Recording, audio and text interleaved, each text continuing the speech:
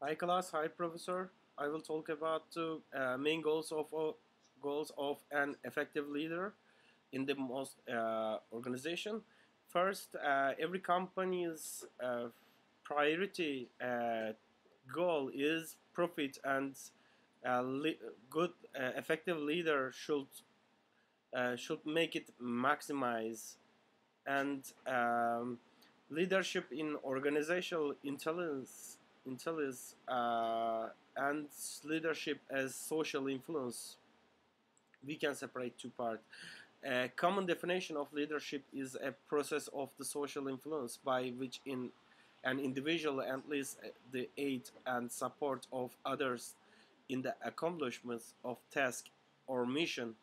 And first uh, first leader should know the what target is and how he can reach at this, this point and he should um, he should motivate the employees to reach them. And he uh, he needs to he needs to he uh, he needs to reach this target step by step. And in this uh, uh in this process he should be he should keep uh, keep all the all the teams in the discipline and he should motivate Uh, motivate the employees to reach this target.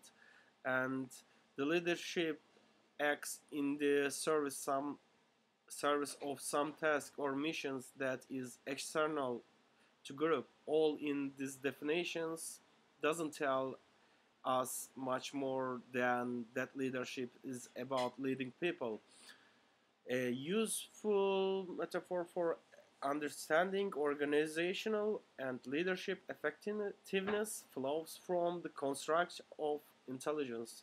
Psychologists regard intelligence as the ability to function effectively in the in the world. In the world, and uh, a crucial aspect of intelligence, however, however, concerns the fact that the fact that the world is the dynamic or changing environment and skills and knowledge gaining, gaining from the past experience may not be sufficient to meet a new challenge.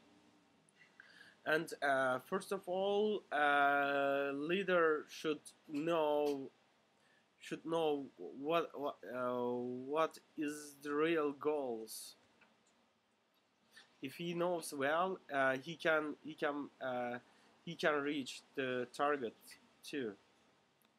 Have a nice day.